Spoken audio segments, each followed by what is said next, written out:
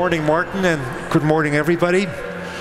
We'll be talking about taking European companies global, and we're going to do it with a twist. Whereas normally people talk about taking the commercial organization global. This time around, we're going to speak to Martin, who's the CTO at Celonis, about taking an engineering and product organization global. But let's start with the beginning. So, Martin, can you explain a little bit what Celonis does, just to set the context? Yeah, sure. Uh, good morning also from my side. Um, so we at Celonis, we're developing technology, like largely data processing uh, technology, um, which uh, we're delivering as a software as a service solution to customers. And I mean, the important question is like, what do you actually do with that technology? So um, what we enable customers to do is to put like a process management, process mining, process observability, and automation layer on top of their business processes that's a little bit abstract. So you take an ERP system. Inside of the ERP system, you're running your purchasing, you're running your order management, and so on and so forth. You put Celonis on top, and then you can exercise much better control uh, over what's actually happening inside of your business. Yeah. I mean, sometimes I, I explain it as it's like waving an X-ray over over a company, and then seeing what kind of processes a company follows and then giving recommendations and actually actions yeah. to automate some of those processes. Yes. Yeah. yeah. So, Martin, Celonis was started in Munich. Um, how did you build the product organization and the engineering organization in the early days?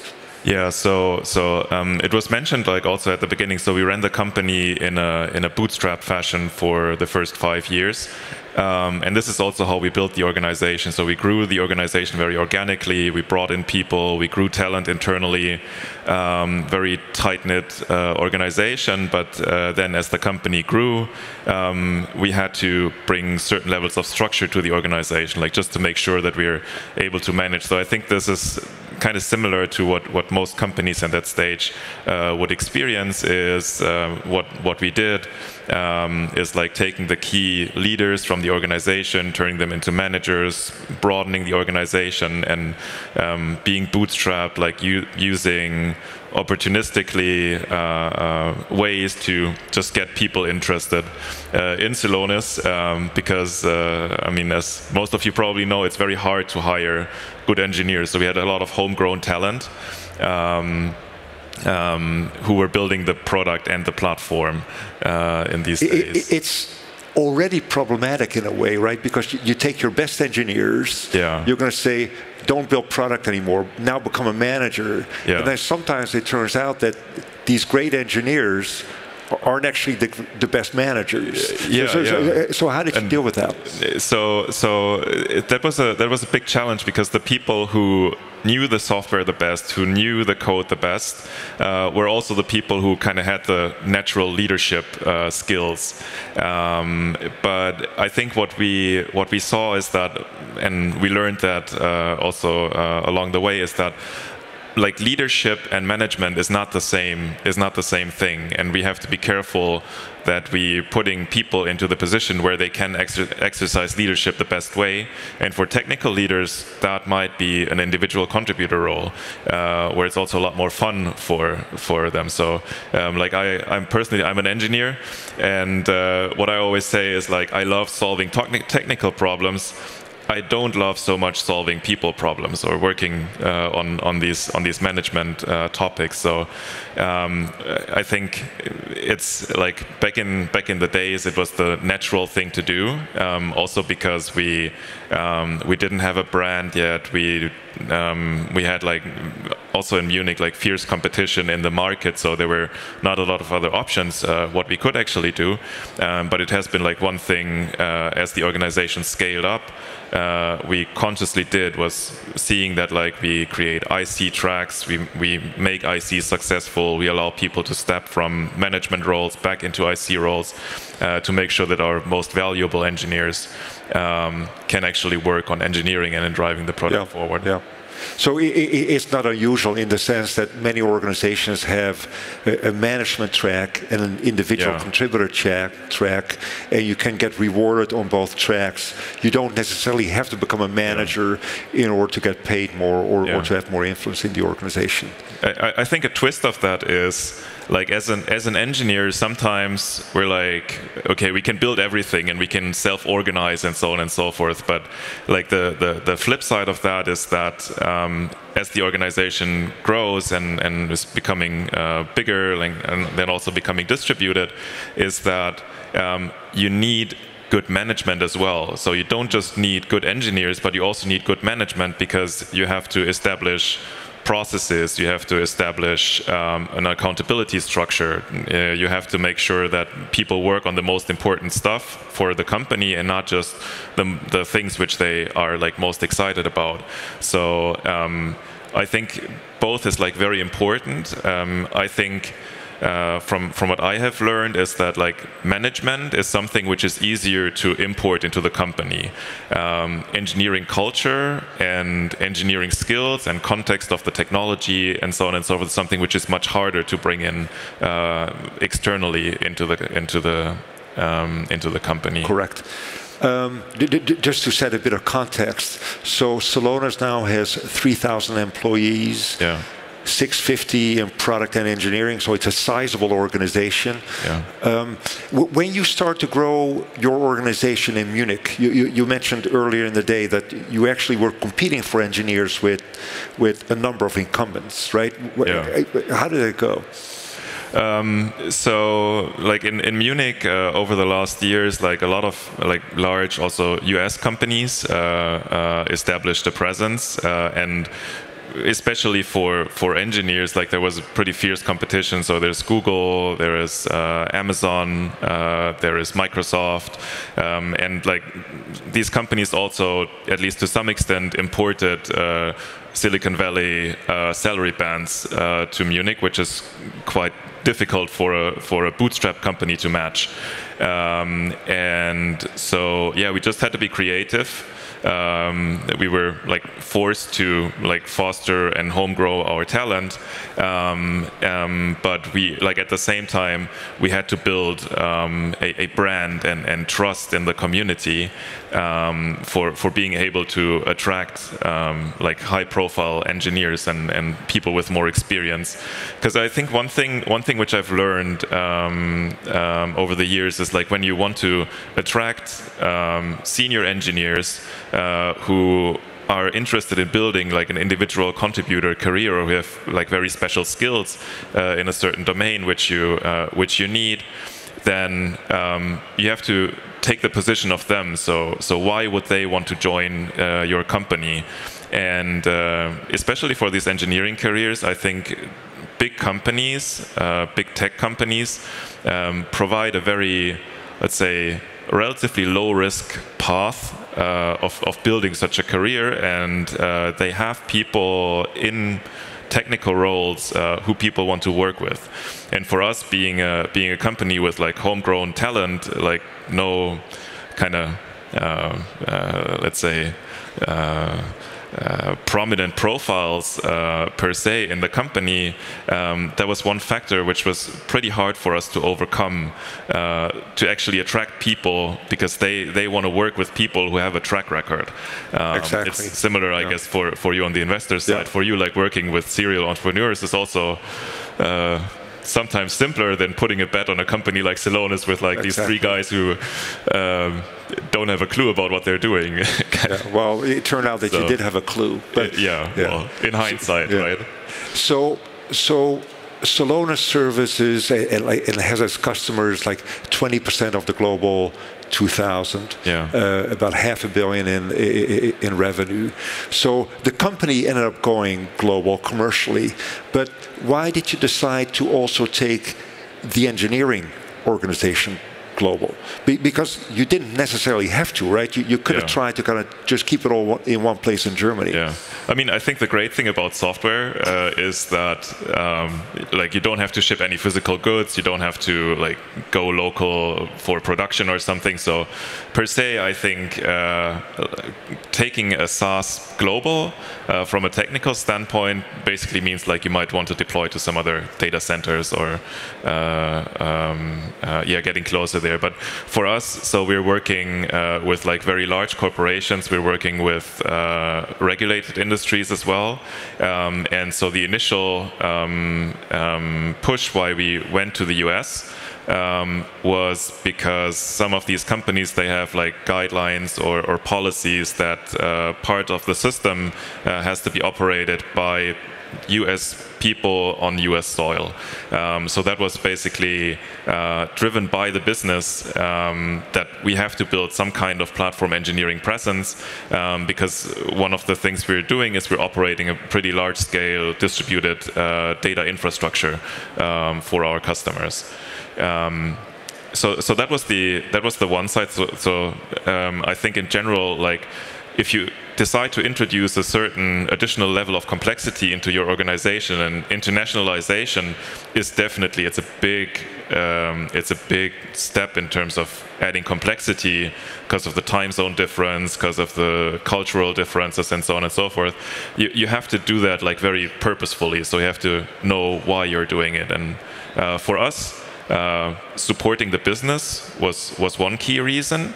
Uh, the second one is that like when we started. Um, uh, uh, like cloud and uh, uh, cloud infrastructure wasn't really a thing which these customers or our customer groups would accept as a as an operating model. So so initially Celonis was a was like an on-prem uh, product which you went out and deployed to your customer. And we did a very big transformation where we, um, uh, yeah, essentially redeveloped a large part of the stack, um, uh, built a cloud-native platform.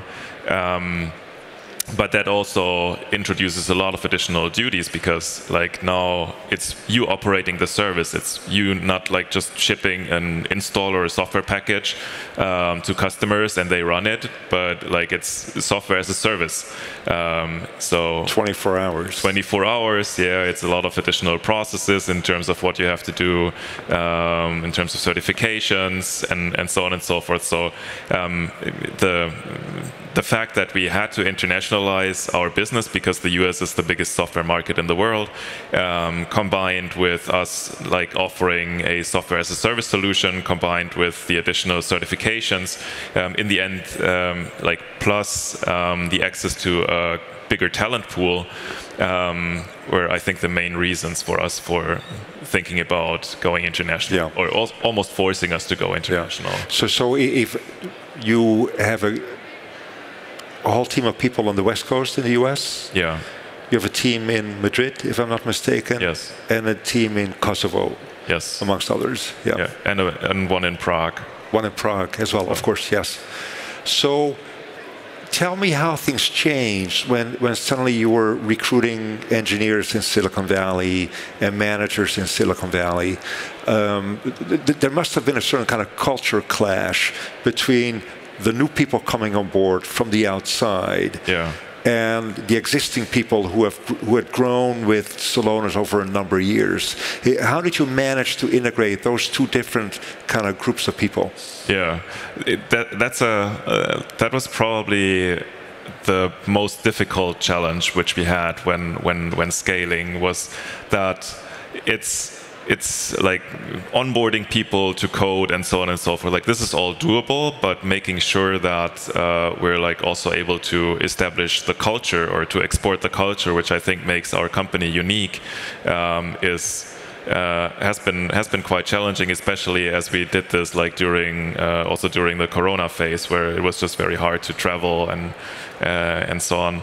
Um, so um, yeah, the, there was like a lot of so when we hire people in Silicon Valley, for example, th there's like relatively high salaries uh, compared to the current workforce. There is like a question of how do you distribute projects? How do you um, how do you kind of do you take new projects? Do you cut projects in half or, or products in half? How do you distribute the um, the, the, responsibilities? Um, and what we I think did relatively well is start with uh, kind of uh, key, like bring in a few key people, uh, experienced people, people who you can build trust with, and people who have a network uh, in these, uh, uh, like in these regions, for example, in Silicon Valley. Um, and then first, like get them on board, um, build a relationship with them, and then scale it up. And we also did things like a, an exchange program, for example, where uh, some of our like very first engineers were traveling over to the US for for some time, like meeting with the people and just giving context um, about the uh, about the, uh, the, the platform and the way how we are thinking uh, about engineering. And th that's also one thing which I personally I think I underestimated the importance of that at the beginning is um, we're we, we're like a very a very tight knit team. So like basically everybody was friends with each other, and uh, we have been working together in a very informal way for a very long time.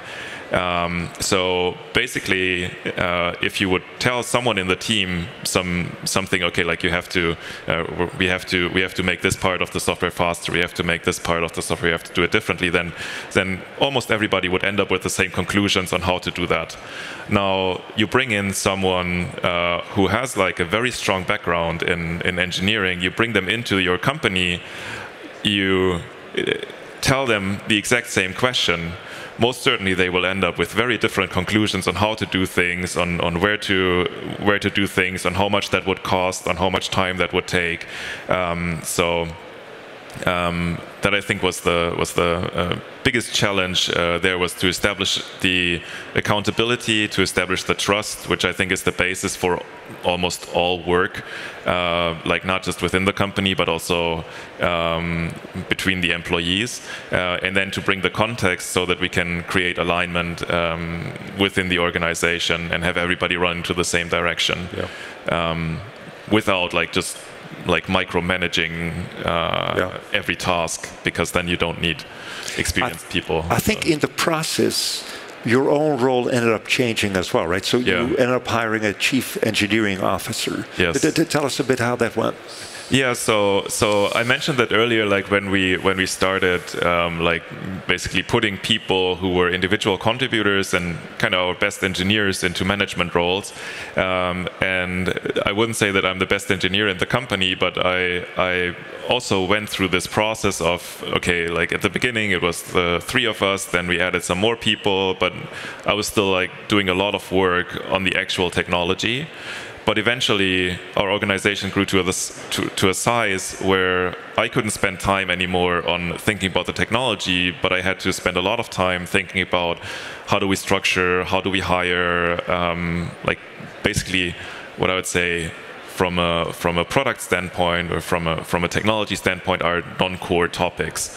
Um, and um, so that came to the point where it was very hard for me to to actually drive the technology direction of the company, um, and uh, we figured out that uh, it's probably not the best use of my time.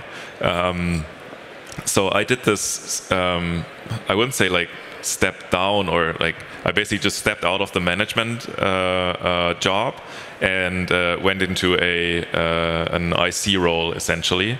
Uh, with uh, I have some people who are supporting me, but uh, I don't manage a large organization anymore, and that just increased, I think, my efficiency and my impact I could have, like for the company and for the uh, and also for our customers, um, a lot. And then we we hired uh, Vaish, a lady who is now running our engineering organization, um, and she's doing a fantastic job uh, in in that. So she's uh, she introduced uh, very good accountability structures, uh, very structured uh, system for how people get rewarded. Uh, we have a I think a very good system now for promotions, and she also managed to attract some like really key people, key engineers, key ICs uh, into the company. So she was also great help on, on hiring uh, and, and building the team uh, there. So yeah, it's. Uh, I think overall just increased the, the, the, clarity we have in the organization, like who's doing what, um, and it just freed up a lot of um, uh, minds for working on, on actual problems problem solving uh, as opposed to like just managing organization. And the results speak for themselves right? Because our product is arguably the industry leading yeah. product. It's scalable. It's it's um, it has massive stability and and is really a leading yeah. a leading product um, when we spoke a bit earlier today, you, you, said you have a number of learnings from this journey that went all the way back from, what was it, 2010? Yeah. So a 13-year journey about your learnings about how to run an organization and how to take an engineering and product organizationally global.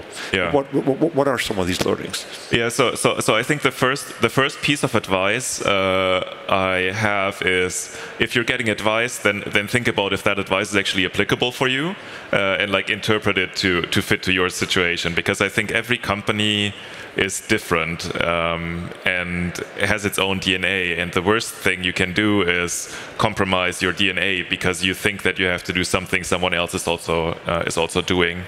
Um, and uh, yeah, for us, like talking about uh, bringing the engineering organization global, like from our nucleus in, in Munich and from our uh, homegrown team.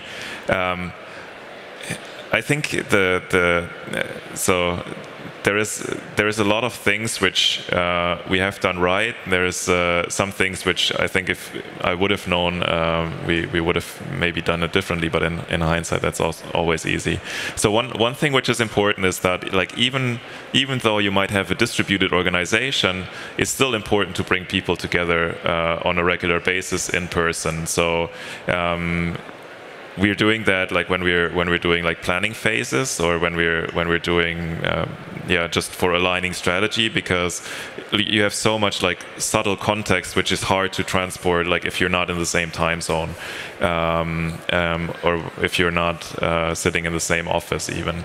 Um, the the second thing uh, is that what what we have learned about like executing projects is um, it's very important for everybody to know about all the projects, but then executing the projects is much easier if you do it like locally. So um, um, we have uh, we have different areas where we are um, de de basically defining is that something which we have to run globally because we need skills from from all parts of the organization? Or is that something which we can run locally? And running local is always preferable because you don't have these time zone handovers uh, you have a team which can kind of push itself much better. Um, so so prefer running local uh, over running global projects. Um, then uh, one topic which we have covered already uh, a little bit in the conversations is um, make sure that you are creating uh, tracks for your key contributors, uh, which allow them to, to be successful um, because they're very very important assets for for the um, uh, for the company. So if um, uh, if you don't have people who in the end like are actually designing the system and writing the code and, and doing this then you can have the best management uh, you want like in the end the product won't do anything uh, anything meaningful. Um, yeah. And there was one uh, as well where you said new managers tend to think that they'll have to look out for their team yeah. and defend their team but that's not always the way they should act. Uh, yeah, yeah. So, so that was that was one. Um, I also think one thing which we which we learned along the way is that if you have someone like if you have engineering teams and then uh, one of these people is stepping up into a manager, they tend to basically fight for their team. So they try to protect their team, try to protect their scope. Maybe to some extent they have a very strong attachment to the components which they have built. Um, but like for us, like switching from a uh, on-prem system to a, a, cloud infrastructure to a cloud system uh, to a system which doesn't just do analytics, but it's also like driving automation um, to a system which incorporates like uh, AI components and so on and so forth. Like sometimes you just have to replace components and you have to restructure and, and align your organization with this. And uh, And so I think managers, like the job of a manager is to drive the company strategy and to manage the company strategy into the teams, of course also helping the people to grow. But um, with these like internal, like promoting people from inside out, um, I think that sometimes led to uh, a situation where uh, they were just like protecting their work or their their baby, uh, so to say, uh, instead of like uh, doing what is uh, what is the most important thing from a, from a company strategy standpoint. Martin, this was incredibly fun and I hope helpful uh, to talk about taking an engineering organization from one person to uh, to 650 people around the globe, and, and we hope to many, many more over time. So thank you so much for taking the time to speak to us this morning, and thank you for your attention. Yeah. Thank you for your attention.